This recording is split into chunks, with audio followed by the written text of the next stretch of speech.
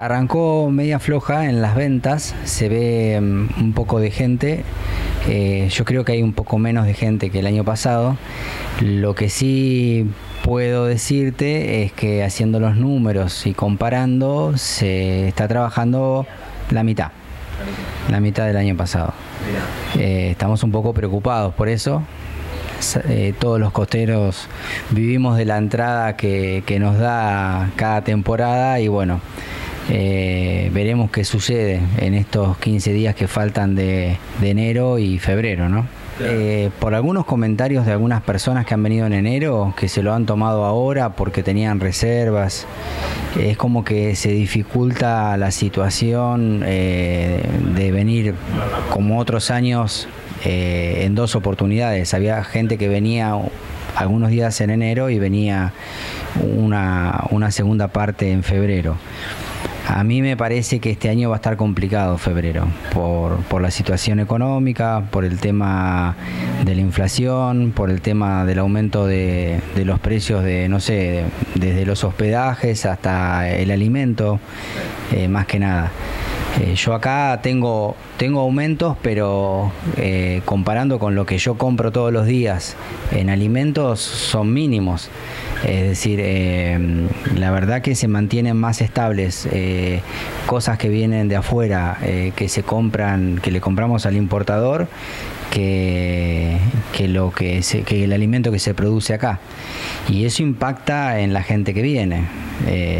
no sé, a mí me parece que va a venir un poco más complicado febrero.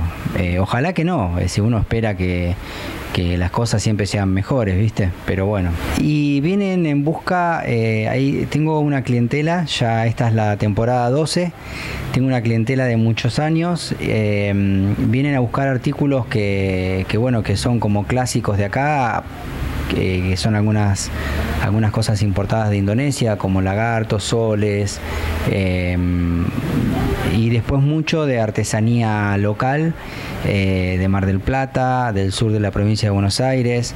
Eh, también vendo algunos objetos de la zona norte de nuestro país, como manos tobas, como artesanía wichi. En general es una regalería bastante completa y ecléctica, diría.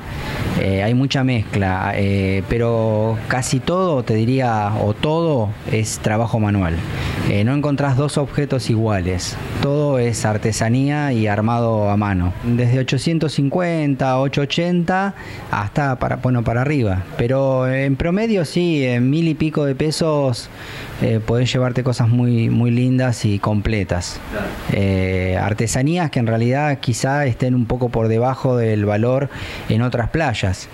Eh, estoy seguro porque hay muchos artesanos que me venden a mí y que venden en otras playas y, bueno, acá se consiguen en, un muy buen precio, eso seguro. El día 24, eh, que es el día de una marcha importante eh, a nivel país, como también nos sentimos parte de, de la cultura del pueblo de acá de San Clemente, eh, con esto de las veredas culturales.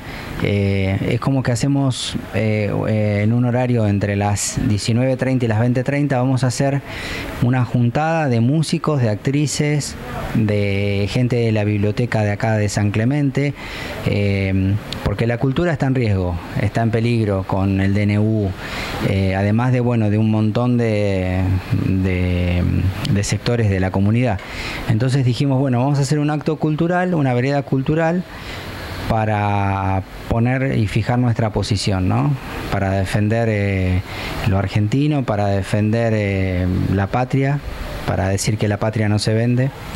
Eh, así que el 24 invito a todos los que quieran pasar, va a haber música, eh, se van a leer poesías, eh, va, a estar interesante. Es calle 3, esquina 1, justo al lado del BEA, del Super BEA. Esto siempre lo hacemos entre septiembre, las veredas culturales y diciembre.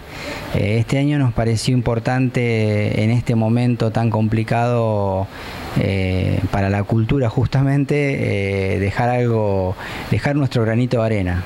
Entonces, eh, la habíamos hecho en el 20, la hicimos en el 21 y en el 23. Y dijimos, bueno, arrancamos el 24 y, vamos a estar acá defendiendo como, podemos esta, eh, esta cosa tan importante que es la cultura san clementina y bonaerense.